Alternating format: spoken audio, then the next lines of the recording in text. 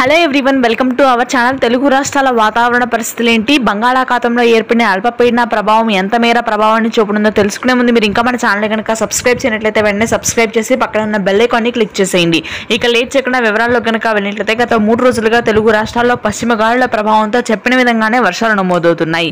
అయితే ఉత్తర కోస్తా జిల్లాలో ఈ పశ్చిమ గాలుల ప్రభావం కొంతమేర ఉండే అవకాశం ఉందని వాతావరణ కేంద్రం వెల్లడించింది. రాజమండ్రి అమలాపురం కాకినాడ ఐపోలవరం తూర్పుగోదావరి పశ్చిమ గోదావరి అదేవిధంగా అల్లూరి సీతారామరాజు జిల్లా విజయనగరం విశాఖపట్నం ప్రాంతాల్లో మోస్తరు వర్షాలు నమోదవుతున్నాయి.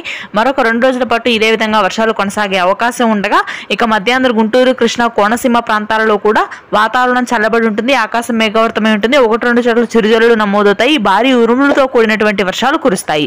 పశ్చిమ గాలులు నేరుగా తెలంగాణలోకి విస్తరించడంతో ఆదిలాబాద్ నిజామాబాద్ నల్గొండ ఖమ్మం భద్రాద్రి కొత్తగూడెం జిల్లాలోని పలు ప్రాంతాల్లో మోస్తరు వర్షాలు మరికొన్ని జిల్లాల్లో తేలికపాటి వర్షాలు నమోదవుతున్నాయి. హైదరాబాద్ పరిసర ప్రాంతాల్లో కూడా పలు చోట్ల ఉష్ణోగ్రతలు అత్యధికంగా ఉంటే LB Nagar Vanasthalipuram Kukatpally Manikonda Charminar old city వంటి ప్రాంతాల్లో కూడా ఈ రోజు వర్షాలు నమోదయ్యే అవకాశాలు ఉన్నాయి.